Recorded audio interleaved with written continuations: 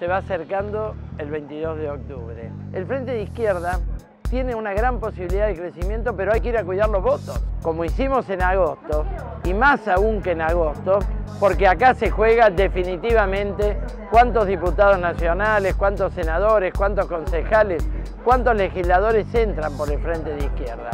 Te convocamos a fiscalizar con el Frente de Izquierda el 22 de octubre, organizate con nosotros, comunicate por nuestro Facebook, contamos con vos.